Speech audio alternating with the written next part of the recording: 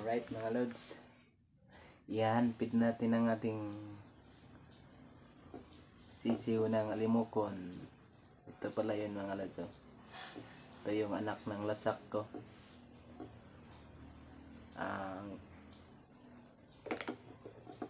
ang binibigay ko palang pagkain nito mga lods ay Sirilak. Sirilak lang. Sapat na.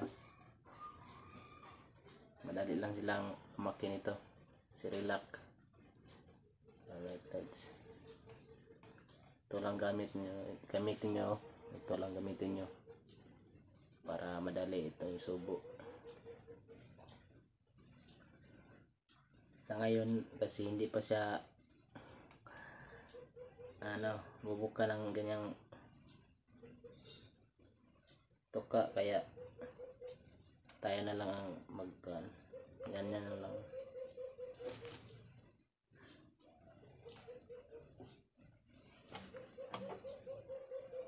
Masanay rin to mga lods. Kaya abangan nyo sa paglaki nito. Alright thank you very much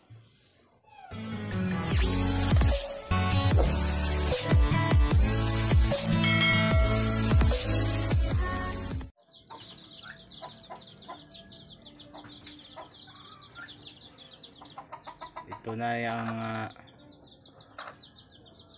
paano yun guys parents ng mga ng ating lasak na breeder. Ito yun mga loads ang ating breeder. Kinuha ko na ang kanilang anak. Para mag-umpisa na, na naman silang mangitlog. Right guys. Siya nga pala guys. Unang unang pamisa pa lang nila ngayon. Kinuha ko na after uh, 10 days. 10 days guys. Ikasampung araw ngayon. Yun na ang sisiyo niya. Laki na. Kaya kinuha ko na para ihanpid ito pang alaga natin guys oh. Black chin fruit dove or tinatawag nila bagatan or balod. Ito yun guys. Meron din tayo ditong one guys. Ah, alagang kalapati. Ito yan guys oh. Maamo tong kalapati guys kasi unfeed ko rin to mga kalapati na to. Maliit pa lang to, wala pang mga balahibo. Hinahanfeed ko na. Kaya maamo talaga sila.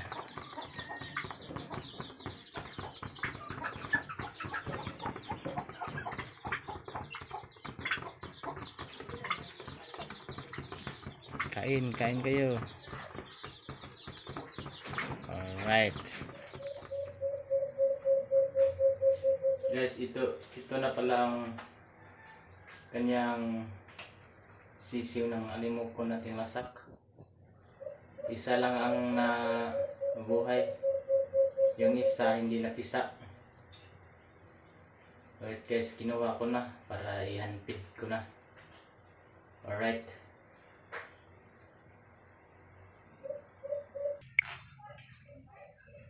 At may mga alaga rin tayo dito mga aso, mga ka, mga loads. Ayun na loads. ah. Leopard. Up, leopard. Ito yung mga loads. Mga alaga ko dito. Ito pa mga loads. Oh. Libby, Libby. At ito, at ito na rin ang ating mga katian. Oh. Grabe ito makalublob din ito guys. Lublob to the max yun na guys oh.